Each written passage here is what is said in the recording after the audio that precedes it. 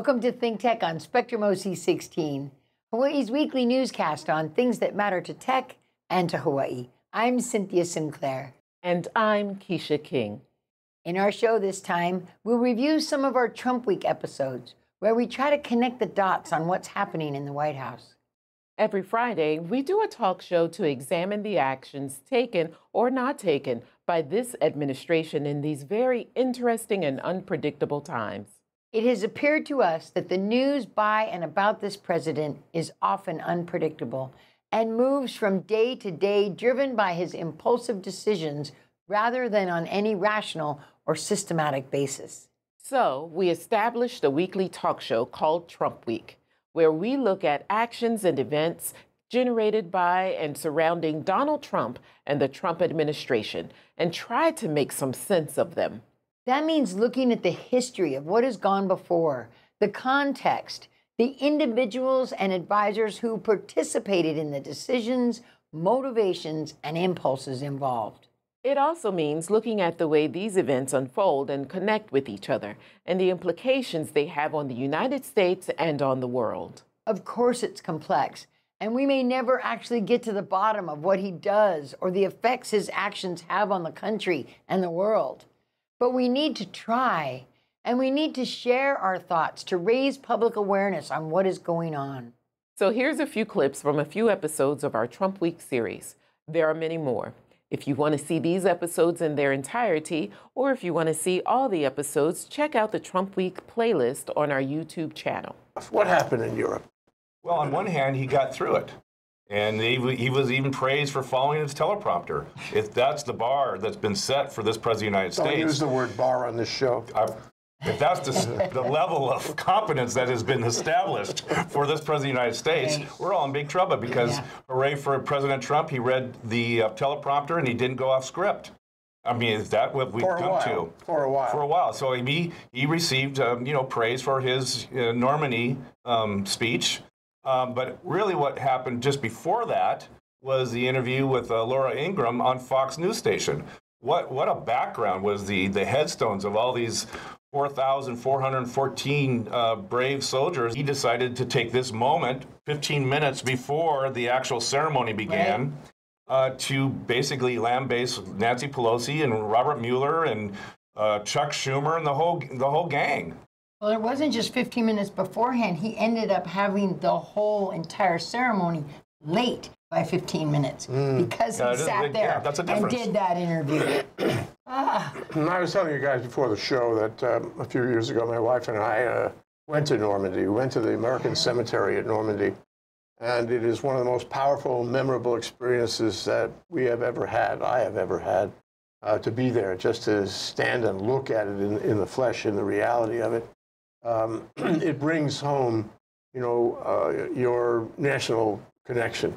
Uh, it brings home your sense of history and, uh, and, and morality and honesty and the greatest generation and sadness for the, the people who are buried there. It is the most powerful experience I've really ever had with respect to uh, an institution along those lines.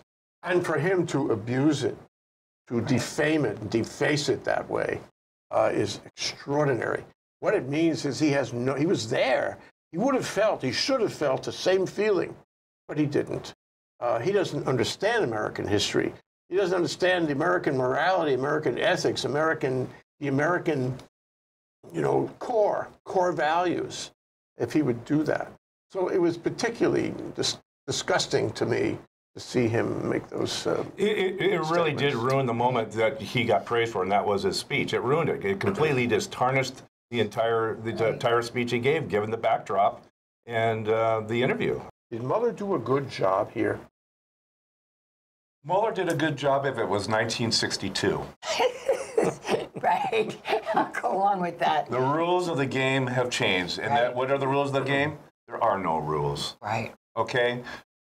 You know, I, I respect Robert Mueller and, you know, his dedication as a, an ex-Marine and, you know, service career uh, individual. And what, what is their model? You don't wear the badge of politics at all when you, you're in the armed services. You And just don't. Bite the, you don't bite the chain of command. And you don't bite the chain of command. He lives his life. And it, I think it's played out here during the two years of the, of the investigation and certainly in the um, portrayal of the report. So can I fault him for that? No, because in his heart, that's what he's trying to do. Now, um, you know, he says some things that I think go beyond him trying to be completely neutral on it. And let me just read one quote. That the Constitution requires a process other than criminal justice system to formally accuse a sitting, sitting president of wrongdoing. So he's he's giving these you know these tidbits, these these little trail notes for Congress to follow, and he's saying, look at the report, look at the Constitution. It's all there in front of you. In fact, he said, the report is my testimony. There it is. I remember lawyers who used to, you know, in, in my practice experience, go to court. they write it out. They write it out in their brief. Um, and when it came time for argument, oral argument with the judge, they would make the strange assumption that the judge read the brief, that he understood it, and he was on the same page. And then they would lose. They would lose because they miscalculated what the judge was looking at and thinking about and realizing. And you know, you have to you have to calculate your audience. So you want to you know hit a 448 page deal, and you want to get very cute about how you frame everything so cautiously.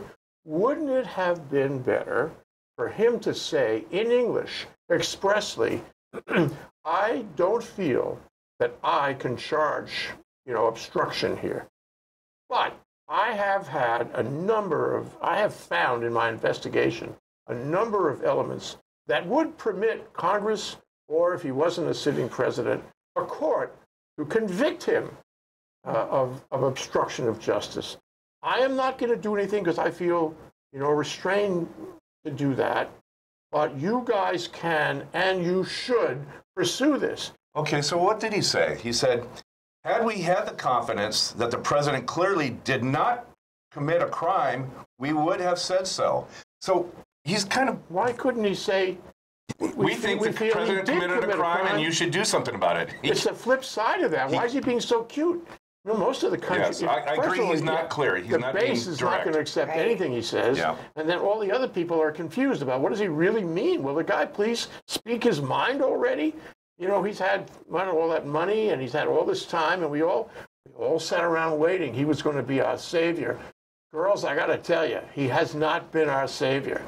And uh, will he be our savior going forward? What did I say about calling us girls off camera? um, will he be our savior? Well, he, he you're going to get what you get. This is it. You, you, could take him behind closed doors and have him, you know, do further testimony. He's not going to give any more than he already has in that nine minutes. Right. I guarantee it. He's done. He's done. He's done. But you know, I, I don't think he's done the job the American people had hoped for, or at least the people I know had hoped for. So the Cyber Command, which is in Virginia, I think, part of the Army, I think it's like a separate command, um, was found to have been hacking the Russian electrical grid. Uh, that, I don't know where it came from, but when the New York Times called them to confirm the story, they confirmed it. They confirmed it, and they didn't say anything about how this was a big secret. Okay? The Times, if you remember, three or four days ago, uh, published the story about how the American military was hacking into the Russian grid.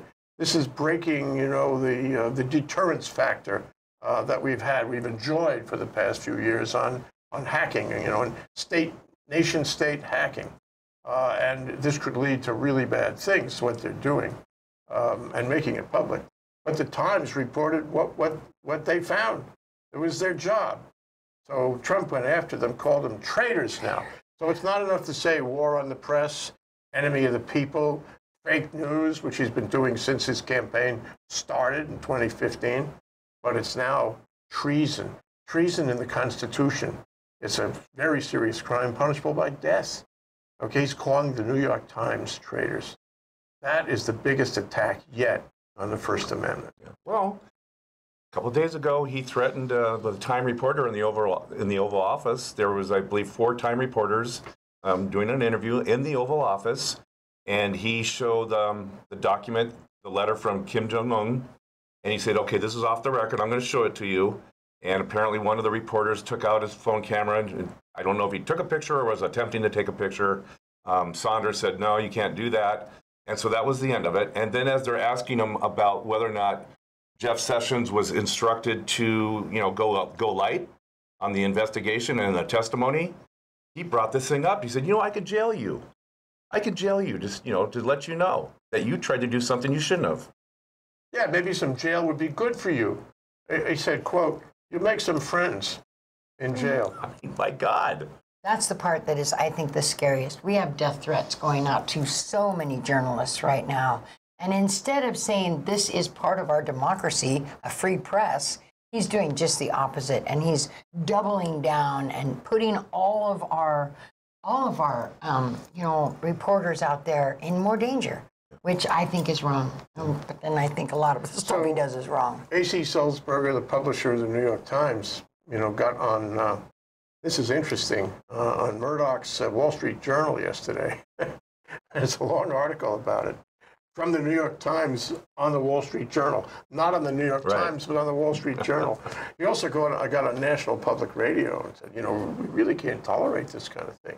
Uh, he calls us all these names. He's, he calls us the failing New York Times, and we're okay with that because, as a matter of fact, all his mishigas, you know, that craziness, all his mishi- mishigas has actually made the New York Times very profitable, Yeah. more prosperous than And the. Washington Post. and the Washington Post, and they're doing a good job, uh, and they're re- reporting fairly. Um, but when he calls the New York Times uh, the failing New York Times, uh, says, eh, "It's okay, you can call me that because we're not failing." My P&L is looking better.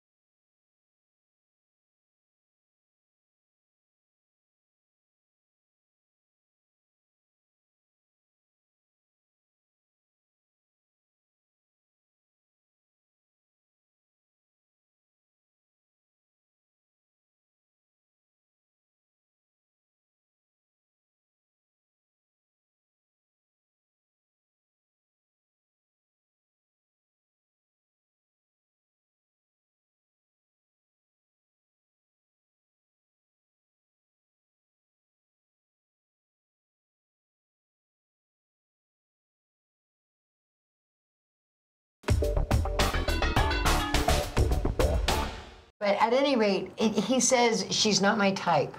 Now, I want you to look at her next to the pictures of all of the people that have claimed that he assaulted them, and they all look the same, and they all look just like his wives. So you're gonna, and he said to each one of them, "Oh, she's not my type."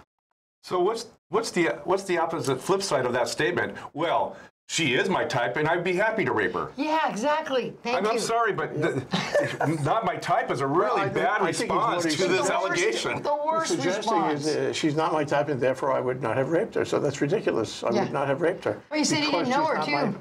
Yeah, but I mean nobody believes that. right, because there's a Everyone picture of them her. together. I know they got confirmation from two other women who were Right. consulted at the time. Um, you know, the problem is rape is a felony. Yeah. It's punishable by you know decades in jail or worse, Right. uh, and yet he gets a it's a- pass on it. It's a moral moral sin. She It's still a has felony, the dress. I, I hope the women of this country unite against him on this. I hope she still has the dress and it's able to find some kind of DNA on it, and that because she does have the dress, um, and I hope and she's turned it in. So if they can find some DNA on that, she doesn't have to bring the rape case. The state can bring the rape case. Well, yeah, but you know, they have this. This goes to a whole new area of Monica discussion. Lewinsky. That's what I'm reminded of. Exactly. Let's assume Thank she you. finds the dress. I mean, she has the She dress. has the dress. Let's assume that the modern science can pull some DNA off it. I know, wouldn't that be Let's great? assume it's a, sus- a suspicious DNA, and, and we believe it's his DNA. But we have to get a swab from him. Where are we going to get that from? Because he's not going to cooperate. Uh, have we? Are we going to do have follow you, him around and grab his Have cup you when he's discovered done? it yet? He doesn't cooperate with legal Think about process. that part. Thank you. Catch me if you can. Ah, So it's going to be hard to make that case without Yeah, his. DNA. I mean, what the travesty is here's yet another woman coming out and, say, and making this allegation, and it's yet a peep within the, the news cycle, and it's a peep within the ranks of the American public. yeah, that's is this the part horrific? It's me. You That's know, because it's the new normal. Well, the deplorable new normal. The Yeah. deplorable normal. Yeah. And you know, I, I guess I, I, I, I, maybe I'm just getting too old. I'm just, I'm just shocked. Uh, what I saw in the paper, he's going to do uh, another raise in tariffs right now. Mm-hmm. Another one, another one on China. 300 billion. Now, remember, the other one was, I believe, 200 billion. Yeah. And he said, we could do this. This is easy. I Yeah. mean, 300 billion now uh, subject to 25% tax. Unbelievable. It reminds me of when he fired somebody on The Apprentice. You, you sat there watching that show. Why did he fire that guy? There was no rhyme or reason about it. And why is he doing this additional tariff? There's no rhyme or reason about it. He's already getting all this pushback from American industry. Because as you said, Tim, it's a tax on mm-hmm. us. We pay it. Right. It disrupts world trade, disrupts their economy and our economy. And I, I don't know what the purpose is, but he keeps on doing it. Did he do something wrong that he wants to do another, what, $300 billion? What's the problem with him? Again, uh, how many shows have we said, is this just another way of distraction? But this tax could potentially talk, or cost $900 per American citizen. And we're talking about potentially 200,000 jobs in the state of Arizona because Arizona actually will be the greatest state impacted by this tax um, if it goes through. Uh, I, you go through, it's, he, he does it all, this, but, you know, by fiat. He does it himself. Well, okay, so he's again, he's taking unto himself the power of taxation. And and finally in the Senate, we have a number of senators, Republican, who said, "Hey, this is not what we like or want." So they're finally some of them are raising their head and saying, "Stop it." Uh, we have Ted Cruz saying this is going to be very harmful impact. We have John uh, Cornyn from Texas saying we're heading. To, uh, it's like holding a gun to our heads. We have um, To our John own heads. Joni Ernst saying it's over, overwhelmingly we oppose these tariffs, and they will count to answer on everything.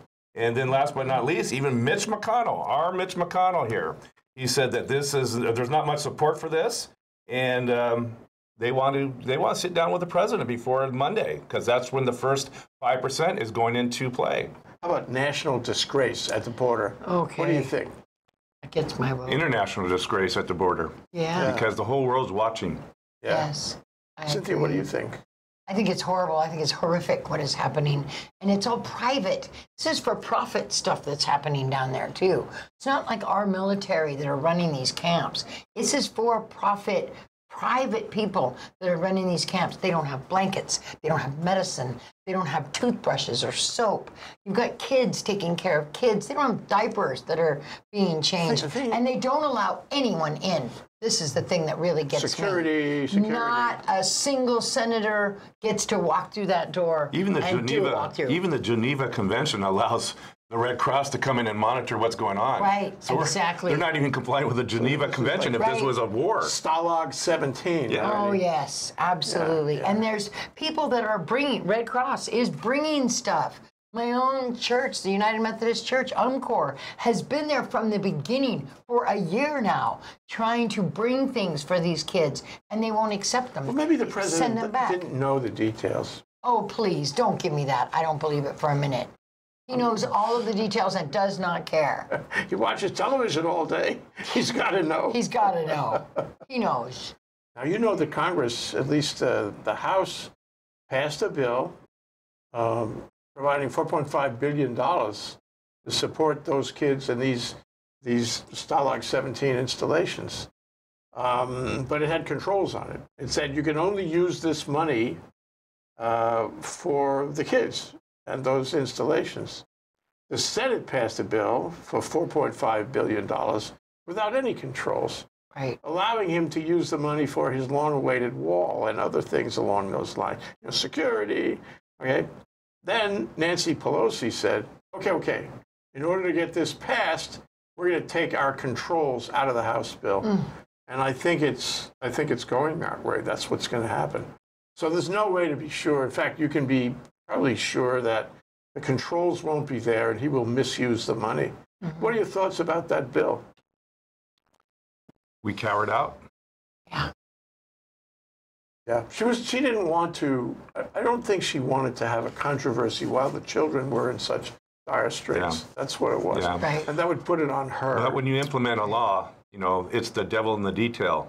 And those controls needed to be in that bill. The important thing is not to limit your attention to the specific events or machinations, however theatrical or shocking those events may be, but to consider the collective effect they are having on our country and society and on other countries and societies elsewhere. And we also need to examine the implications of negative action and non action that derides the press, denies the truth in climate science, divides and invokes hatred and racism among us, insults, bullies, destroys, or compromises our global relationships, undermines the rights of women, and denigrates the rule of law and our sacred Constitution and moral and ethical norms. We must include these issues and threats to our democracy in the public conversation, not just to incite or threaten people, but to enable voters and public officials to develop sound and courageous opinions, fashion the best policies, make the right decisions, and of course, protect, defend, and save our republic.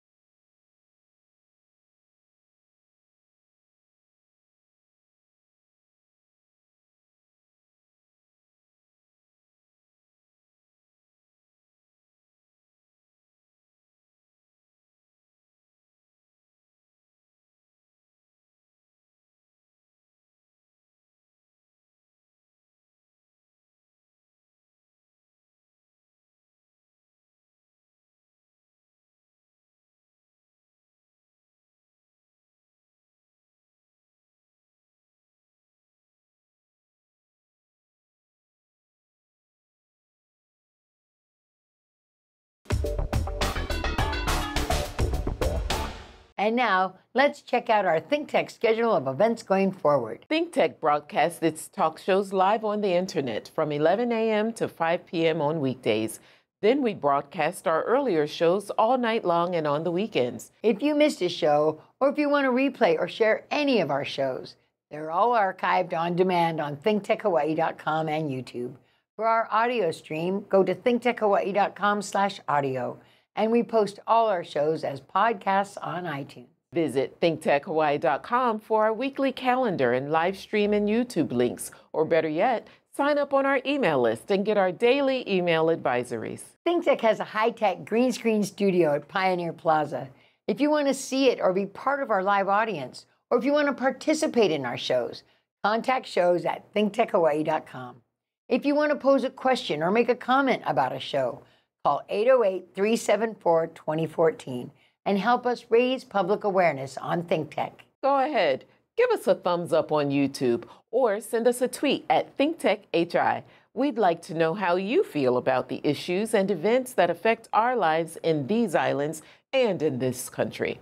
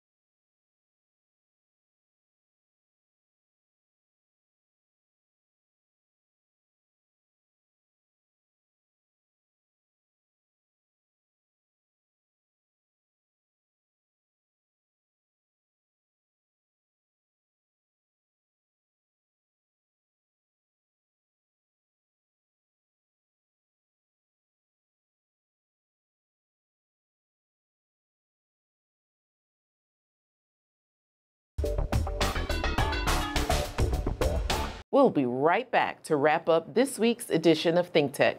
But first, we want to thank our underwriters. Thanks to our ThinkTech underwriters and grantors, the Atherton Family Foundation, Carol Mon Lee and the Friends of ThinkTech, the Center for Microbial Oceanography Research and Education, Collateral Analytics, the Cook Foundation, Duane Kurisu, the Hawaii Council of Associations of Apartment Owners, Hawaii Energy, the Hawaii Energy Policy Forum, Hawaiian Electric Company, Integrated Security Technologies, Galen Ho of BAE Systems, Kamehameha Schools, MW Group Limited, the Schuyler Family Foundation, the Sidney Stern Memorial Trust, Volo Foundation, Yuriko J. Sugimura. Thanks so much to you all. Okay, Keisha, that wraps up this week's edition of Think Tech. Remember, you can watch Think Tech on Spectrum OC16 several times every week. Can't get enough of it, just like Keisha does. For additional times, check out OC16.tv. For lots more ThinkTech videos and for underwriting and sponsorship opportunities on ThinkTech, visit thinktechhawaii.com. Be a guest or a host, a producer or an intern, and help us reach and have an impact on Hawaii. Thanks so much for being part of our Think Tech family and for supporting our open discussion of tech, energy, diversification, and global awareness in Hawaii. And of course, the ongoing search for innovation and political clarity wherever we can find it. You can watch this show throughout the week and tune in next Sunday evening for our next important Think Tech episode. I'm Cynthia Sinclair. And I'm Keisha King. Aloha, everyone.